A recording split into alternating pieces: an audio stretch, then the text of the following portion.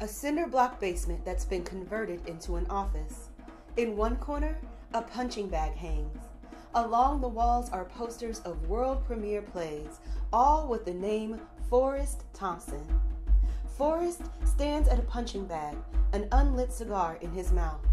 He slowly throws a punch at the bag, not to connect, to test his range.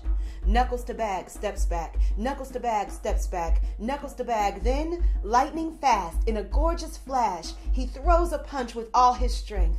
His form is impeccable still. But he steps back, breathless.